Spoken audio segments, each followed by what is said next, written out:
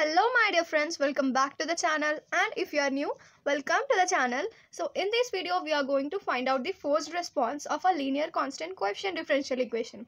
And if you don't know what it is, then go to the previous video of this playlist and you will know what it is. And also you will get to know about natural response or zero state response also. So in this video we are going to find out the forced response of the system. So let's discuss some basics so i have discussed about this in our previous video that this is the forced response and today we are going to find out this y f of n. So let's start the video. So let's consider a question to find the forced response or the zero state response of the given equation that is yn 5 by 6 and here they have given and also initial conditions are. So this is our question that today we are going to solve. So what is the first step to do? While writing the answer we will write what are given things in our question. So i will not write now. We will start solving it so, so, as we know to find out the forced response, the initial conditions are going to kept as 0 and the input response are going to be considered. But we know that this forced response y of n is considered of two things that is the homogeneous equation and one more that is the particular equation. And to find out the homogeneous equation, we have to follow the steps that were for finding the natural response. So, we will find out first this homogeneous equation. So first for zero input response we will consider the input responses as zero and we will only take the output equation as equal to 0 and now we will solve this homogeneous equation. This is a second order homogeneous equation. So as for general form of homogeneous is is y h of n is equals to lambda to the power n. So we will substitute this in this equation. Let's consider this equation as uh, 2 and this as 1 then this as 3 so we will substitute 3 in 1 substitute 3 in 2 because we are going to keep this into then we will get lambda to the power n minus 5 by 6 lambda to the power n minus 1 plus 1 by 6 lambda to the power of n minus 2 equal to 0 after taking this lambda to the power n minus 2 as common we will get lambda square minus 5 by 6 lambda plus 1 by 6 and is equals to 0 so we will consider this equation as 0 and if I take the 6 as LCM then I'll get and if I take 6 as common then I'll get this equation and after solving this equation I'll get lambda values as 1 by 2 and 1 by 3. So in this case also the roots are real and discrete. So what so here we got the roots as real and discrete. So what will be the homogeneous equation? y of h of n is equals to c1 as we have two lambdas lambda 1 to the power of n plus c2 lambda to the power n n. So this is equals to C1 1 by 2 power n plus C2 1 by 3 power n. So this is the homogeneous equation. We do not need to solve C1 and C2 values for now. So the homogeneous equation is C1 1 by 2 power n plus C2 1 by 3 to the power of n. So this is our yh of n. Now we will calculate the particular solution. For this I will discuss a table. After that we will solve this question. So to find the particular solution there is a table. First we will on the left hand side we will take the input that is x of n and on the right hand side we will take the particular solution that is yp of n. So if the input is a that is step then we will write the particular solution as k. And if this input is a and m power n then the solution will be k m power n.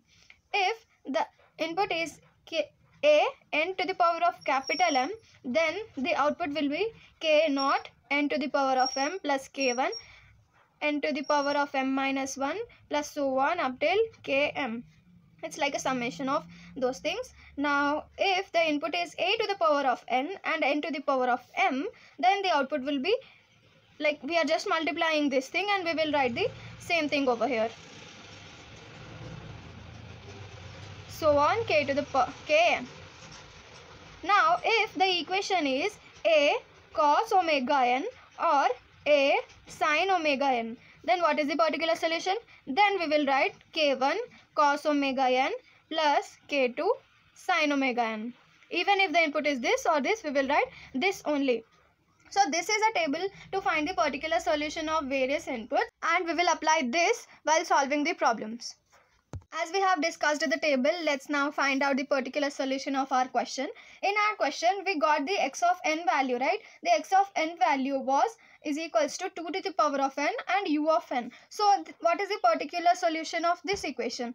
This, as you can see, is equals to m to the power of n and this is unit only, na? So, 1. So, this is equals to m to the power of n and this is a.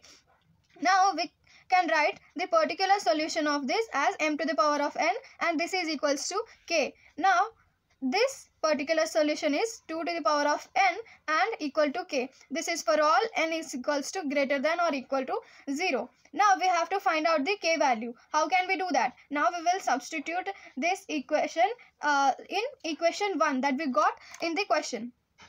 So the equation that we considered as equation 1 is the given equation in the question. So this is the equation 1. Now we will substitute this value in this y of n values. So let's do that in another paper.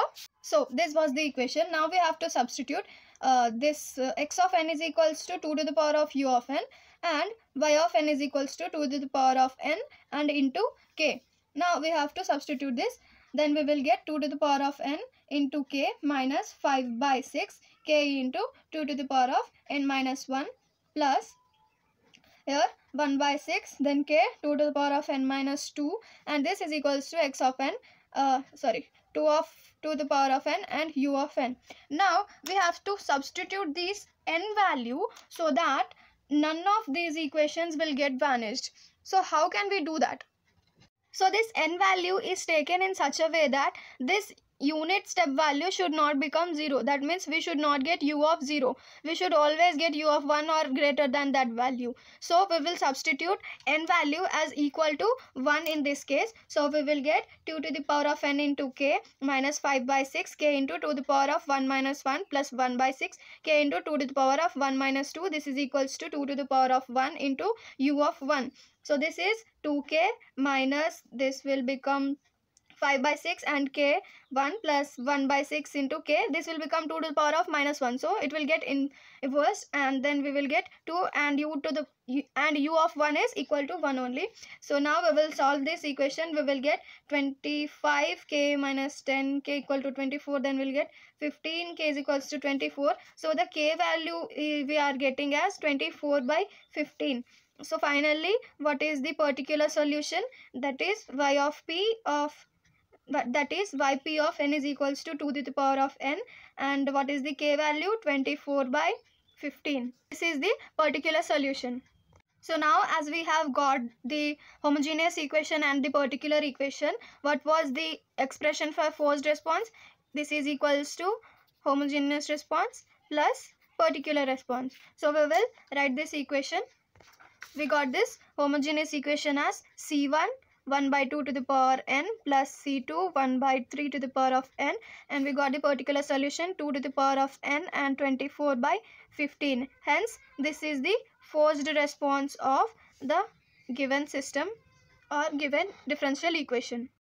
Like the video if you have understood everything and subscribe to the channel if you have not done yet because it motivates me to make more such videos.